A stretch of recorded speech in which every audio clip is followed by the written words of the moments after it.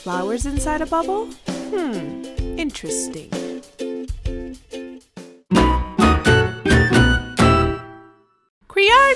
Pay close attention to the dotting tool I'm using because at the end of this video I will tell you why you need to pay close attention to this specific tool.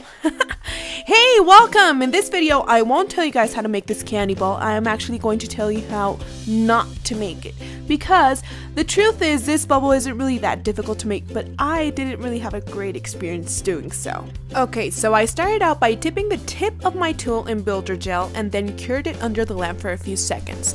Once it came out, I dipped it in the acrylic powder and well, I saw that the original one looked kind of greenish in the middle, but I thought to myself, if it's the center of the rose, it should be yellow, right? And since I didn't have any tiny beads that they used for the original one, well, I went for the acrylic. Colored matte acrylic.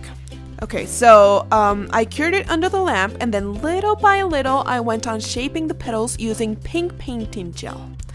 Okay, so on the internet I saw that you could apply a coat of finishing gel after the builder gel, but I decided not to do it. The truth is that I saw the picture and based on that, I decided to experiment a little. so, right here, with a regular paintbrush I used to freehand paint, I am shaping the small petals. So, all around the ball, I paint the petals and then under the lamp it goes. So up to here, everything seems perfect, right? I was really excited thinking it's gonna come out great. I'm going to rock this and wait till the end.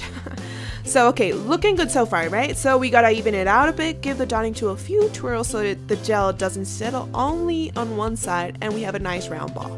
All set, so once again, we draw the petals on with our painting gel Oh, and by the way, I am amazed by all the beautiful things that you can do. I mean, like you can combine colors and you can even bubble up whatever you want, like beads, confetti, or any other decorations. You can really just use about anything and the end result will be gorgeous. And this and these bubbly balls are really super easy to make. I mean, okay, so I didn't do so well the first time, but I finally got the gist of it.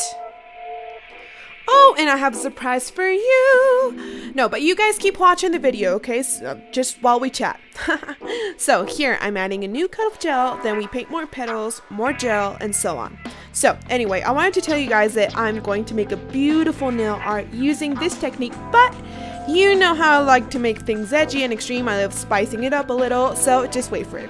It's coming soon and send some good vibes my way so that my experiment comes out as planned. And I also want to thank everyone who has been tagging me with the recreated Laura Tagle hashtag. Remember that the challenge with the most votes will be the one I'll go for and recreate. And if you get to make this candy ball, don't forget to share it with me on the Facebook group page creartistas.com where you'll find everything about nails. Just nails, nails, nails, nails. Alright, look, here I got my Oh my god, it's beautiful. It did come out well. I was super happy at this point. Look how pretty. Nice and shiny. You can see the you can see the inside and everything. Absolutely wonderful. Okay, ready? Here's where my epic fail starts. So I decided to clean the gooiness from around the ball since it's builder gel. You know how it comes out gooey sometimes? So I wiped it off and my candy ball suddenly turned dull, but I thought to myself, no biggie, I'll just coat it with the all-in-one gel and... Uh-oh, it wouldn't come off my tool.